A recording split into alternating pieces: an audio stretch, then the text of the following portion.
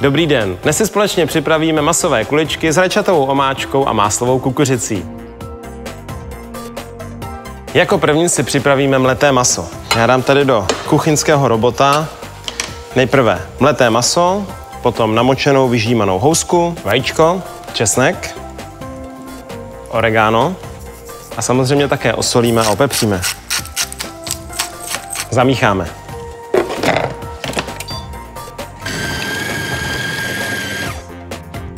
Z takto připraveného masa formujeme kuličky. Mně se nejvíc osvědčilo porcovat maso takhle lžící, kterou si namáčím do studené vody a sázím jednu kuličku vedle druhé, až spotřebuji veškerou směs.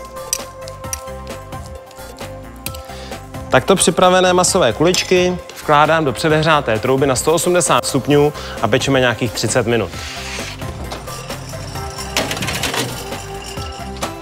Mezi tím, co se nám pečou ty masové kuličky, tak si připravíme omáčku. Olivový olej, nakrájím česnek na plátky, česnek necháme spěnit a v podstatě ho i lehce opečeme. V žádném případě se nesmí spálit, ale taková lehká zlatavá barva není vůbec na škodu, právě naopak. Pokrájím palivou papričku.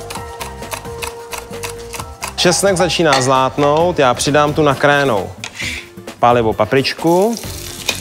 Tím se to opékání toho česneku trošku zpomalí, ale jak můžete vidět na detailu, tak už opravdu začíná zlátnout, hnědnout a proto si přichystám to víno do ruky. Při tom podlévání dávejte pozor, je to rozpálený olej a vy přidáváte vodu, nebo respektive tekutinu, víno. Takže klidně takhle odstoupit, než se to trošku probublá, potom už to není nebezpečné. A zhruba tak po minutě prováření přidáme nasekaná oloupaná rajčata.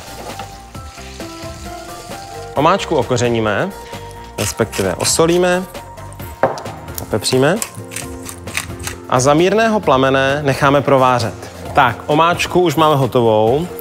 Jde mi o to, abych měl takovou hustší konzistenci, protože ty um, masové kuličky budou šťavnaté a když je potom rozkrojím, tak z nich vyjde relativně hodně té šťávy ještě a proto by tu omáčku zbytečně naředili. Takže já to celé trošku víc svařím a tady to je přesně ta konzistence, kterou si přeji. Potom si tady ještě rozehřeju jeden rendlík a připravím kukuřici.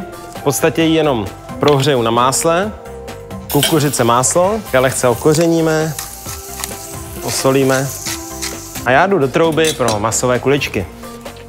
Tak, máme pečené i trošku opečené a můžeme servírovat. Já použiju tady tu hlubší misku, na dno které dám omáčku.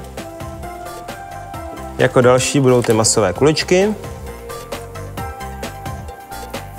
Kukuřici na másle a úplně nakonec ještě trochu nakrájené lhoutkové cibulky. No a máme hotovo. Já vám děkuji za pozornost, doufám, že vás tady to eh, relativně snadné jídlo z mletého masa zaujme a že se ho uvaříte. Na závěr bych vám ještě rád doporučil jako přílohu, připravte si například dušenou rýži. Díky a dobrou chuť.